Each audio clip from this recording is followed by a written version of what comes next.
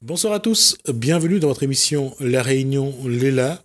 Nous sommes toujours en contexte sanitaire, le Covid est toujours présent. La... Est-ce que ça baisse ou est-ce que ça baisse pas? Qu'est-ce qu'il faut en penser?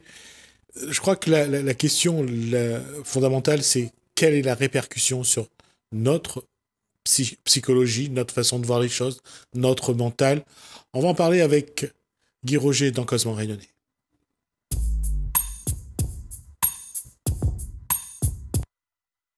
Bonsoir Guy Roger. Bonsoir Gismi. Ça fait 18 mois à peu près qu'on sort de son contexte-là. Comment, au bout d'un an et demi, comment on, on doit réagir à, face à, à ce virus qui nous a bouleversé notre vie? Écoute, après tout ce qu'on a dit, tout ce qu'on a fait, tout ce qu'on a entendu depuis tout ce temps-là, les confinements, les dons, les dons confinements, les ceci, les répercussions. Et surtout, ce qui est tout ce qui m'a toujours surpris, c'est que ça monte, ça descend. À un moment donné, il Exactement. disparaît, après il revient. Un petit peu comme un tour d'illusion. Voilà. d'illusion. Et, et tout, tout ce qui a été dit là, moi je trouve, personnellement, à qui je vais faire confiance? À la vie ou à ce que les gens pensent de la vie? Moi, Alors je fais confiance en la vie. Personnellement, Mhm. Gismi, je vais faire confiance en la vie. Je vais pas me faire avoir par tout ce que les gens racontent. Parce que tout ce que ces gens racontent, tout le monde dit comment faire, mais personne ne sait vraiment. Au fond, on ne sait pas. Qu'on ne sait pas, à la rigueur, ce n'est pas le, le, le souci. On ne sait pas, on ne sait pas. Mais la question, c'est pourquoi on invente des protocoles, pourquoi on invente des méthodes, on invente des pistes. Ça serait bien. Le nombre de, de fois, il y a des gens qui ont trouvé des remèdes, euh, tout ce que les gens peuvent. Ne serait-ce que lorsqu'on a inventé, on a le vaccin est arrivé sur le marché, on a commencé à, voir si notre corps réagit aux aimants. Qu'est-ce que soit il y a une vraie, euh, dire une vraie frénésie à, à cette euh, épidémie et à, et à tout ce qui se passe autour, soit on, on est dans une période aussi, soit ce virus a révélé notre fragilité et les perturbations que ça entraîne.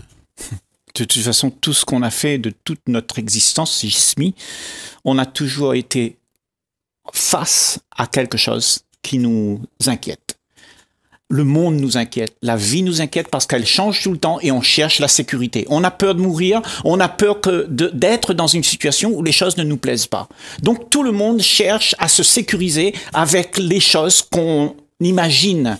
L'idéal vie est promu dans le monde. L'idéal, c'est vacciner tout le monde et nous serons heureux. C'est ça, c'est la position du gouvernement. Moi, je parle de la, de la, de, du ressenti de la, de la population, du peuple. Ce- Et je reviens à cette question-là. On a l'impression que le, ce virus a ouvert, a mis en exergue, a exacerbé nos peurs Oui. notre fragilité. Et quand je reviens, et je reviens sur le terme peur, c'est bien d'avoir peur, d'avoir peur de, de lendemain, d'avoir, d'avoir ces incertitudes. Il n'y a pas pire que lorsqu'on pose une question qu'il n'y a pas de réponse. Oui. Et aujourd'hui, ce qui nous manque et ce qu'on n'a pas, ce sont des réponses. Mais où, où cherche-t-on la réponse? Ailleurs que, qu'en soi. C'est ça le problème. C'est que nous sommes toujours en train de chercher la réponse et quand tu vas chercher la réponse ailleurs de toi, alors on te ment et tu ne sais pas la vérité parce que tu ne vas pas chercher à la source la réponse. La réponse, tu l'as. Ça veut dire de vivre sans la peur, tu peux le faire. Parce que tu auras accepté les faits. Le fait, c'est qu'il y a un coronavirus. C'est un fait. Mais est-ce qu'on aime ce fait? Non, on veut pas. Donc on voudrait tellement plein de... On fait beaucoup de choses pour éradiquer le problème. Donc ce- ce- cette manière d'éradiquer le problème ne peut pas se faire. Les faits sont là, il y a le coronavirus. Mais toi, tu ne veux pas vivre avec ça. Donc le premier venu qui va te donner une solution, tu vas dire Amen, bienvenue, donne-moi, donne-moi, vaccine-moi, fais ceci, fais cela. Et il y a d'autres qui vont dire non, ne vaccine pas, ne vaccine pas. Donc on est tous dans le même bateau, mais il y a un gouvernail seulement. Et tout le, tout monde veut gouverner. Un bateau. Et où est-ce qu'on va comme ça? Ben on va à la catastrophe. Il Au-delà de ça, effectivement, du- d'une part, mais ce que j'essaye de, surtout de, de voir, c'est pourquoi d'abord, et ça c'est en, psychologie, c'est de l'acceptation d'une situation. Hmm. Pourquoi on n'accepte pas d'abord le virus et on n'accepte pas que ce virus nous a montré nos peurs? Ben, tout simplement parce que, tu vois, la peur, c'est quoi? C'est justement, on veut pas voir. La peur, il y a quelque chose, elle cache quelque chose. Elle cache quelque chose qu'on a, qui est réel, elle cache les faits. La peur cache les faits. Il y a les faits qui sont là, et la peur ne veut pas que les faits soient béants. On veut quelque chose qui nous plaise. Donc on va toujours se raconter des histoires qui va éradiquer la peur pour pouvoir avoir ces choses qui nous réconfortent. On cherche tous du réconfort. Là est notre problème, parce que nous cherchons du réconfort à nos propres peurs, d'être face à nous-mêmes et de voir vraiment les choses telles qu'elles sont, sans croire, sans croire que tu peux esquiver. Pas seulement esquiver. Et moi, je vais aller, je vais être un peu plus euh, extrême dans, dans, ce que je vais dire. On ne veut pas regarder le problème. On veut regarder euh, des choses qui vont bien. Du moins, on se donne l'illusion que ça va bien, mais on ne veut pas voir ce problème-là. Qu'est-ce qui a fait que l'être humain ait évolué de cette façon-là, toujours dans l'esquive, comme a dit tout à l'heure euh, Guy Roger? C'est-à-dire qu'on ne veut pas voir ces problèmes, on ne veut pas voir, on veut pas voir ce qui ne va pas. On essaye de se mentir en disant là, ça va, on regarde là. C'est ça. On, essaye de se mentir.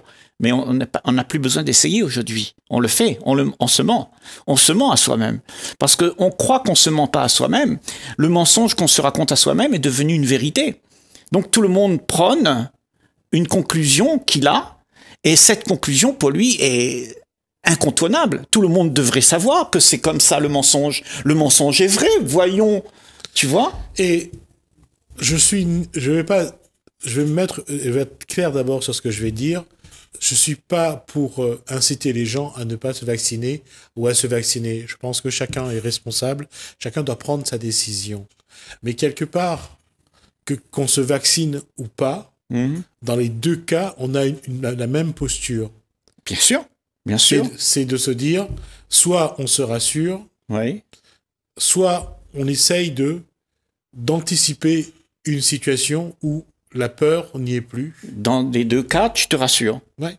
Euh, le cas où tu te fais vacciner, tu es rassuré parce que tu dis je vais pas mourir, je vais pas avoir le Covid. Et quand tu ne veux pas te vacciner parce que tu as peur que le produit qu'on t'injecte, eh ben, il va être néfaste. Donc, de toute façon, de toute façon, qu'on aime ou pas, tu vois, tout ce qui a été dit, tu vois, a été un gros mensonge. Quelque chose qui a été fait pour un but. Que pour, ma part, personnellement, je ne dirais pas que tout ce qui a été fait sur la planète Terre est bon ou mauvais. Il y a ce qui a été fait. Je juge rien. Je dis j'observe.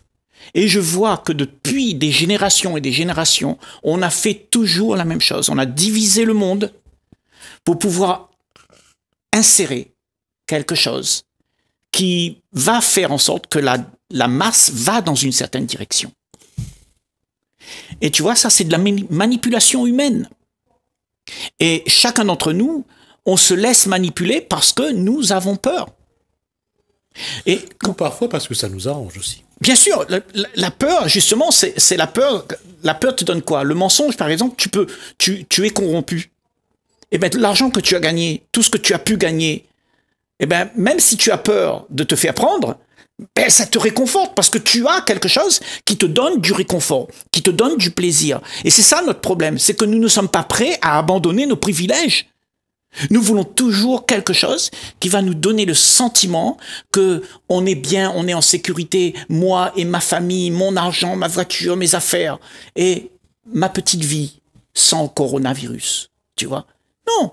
La vie, elle est faite d'aléas et on va tous mourir un jour, que tu aimes ou pas. Mais quand il y a quelqu'un qui essaye d'organiser ta vie pour te dire comment tu dois vivre ta vie, ça devient dangereux. Parce que tu ne peux plus vivre ce que tu aimes.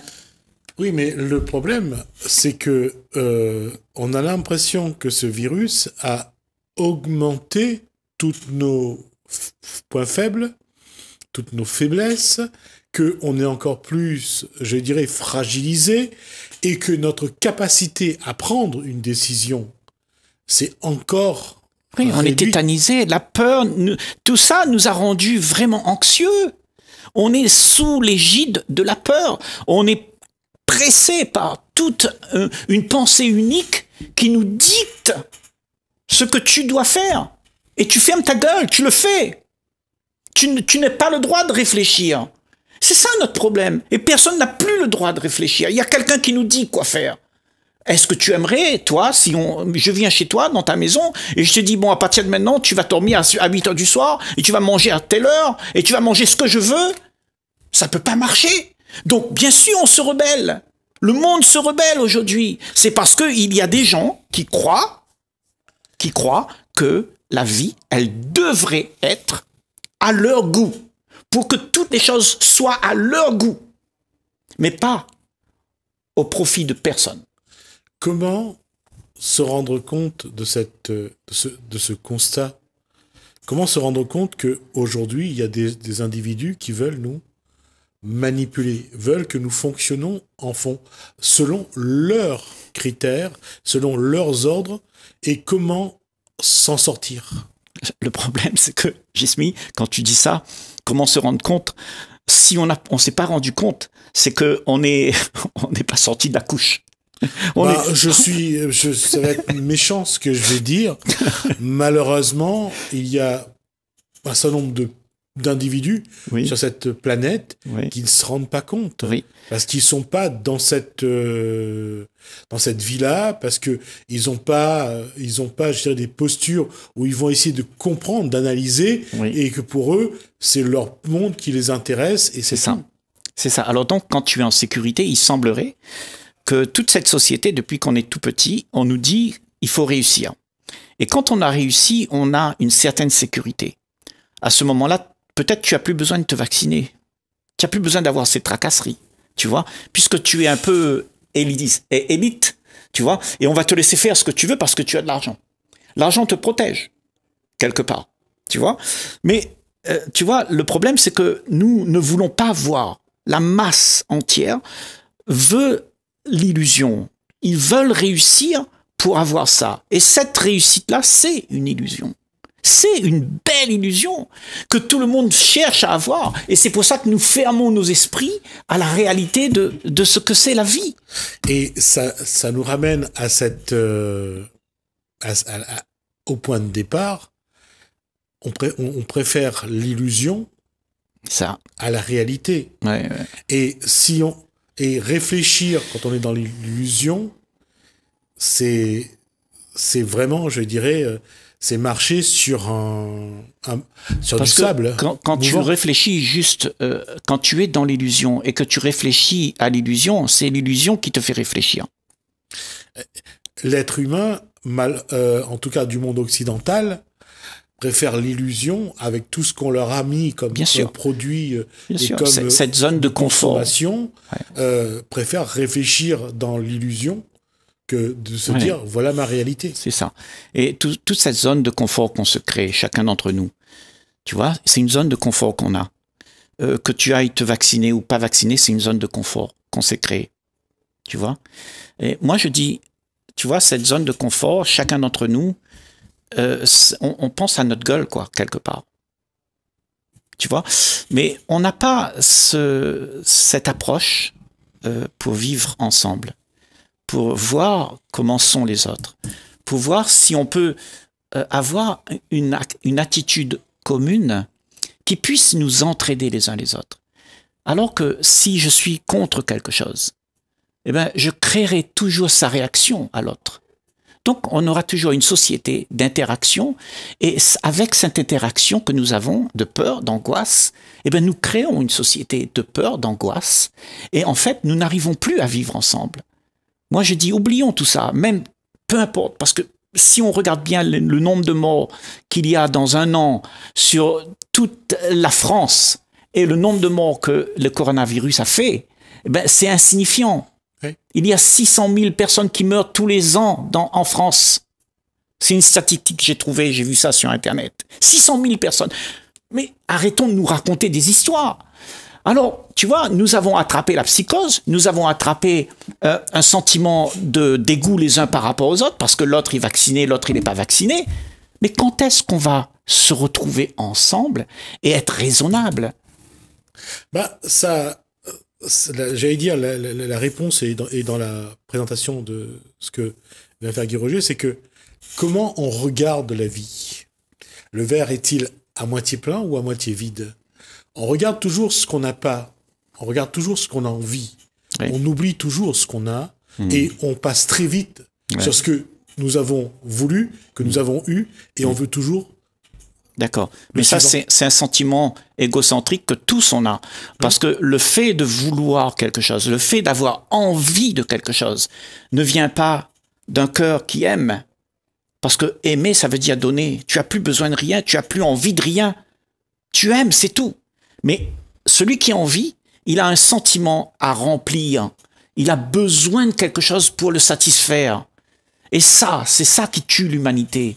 C'est ça qui nous tue, qui tue nos relations les uns avec les autres. Parce qu'on n'arrive plus à se regarder en face, comme si on était égaux.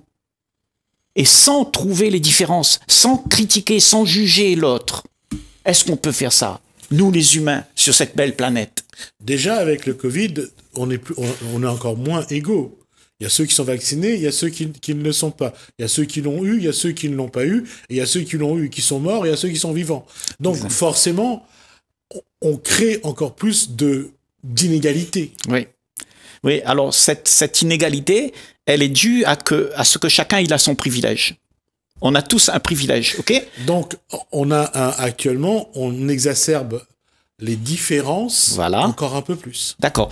Et, tu vois cette différence qu'on a, en fait, c'est une illusion cette différence parce que à la fin, c'est le même, le même endroit pour, pour chacun. Tu vois?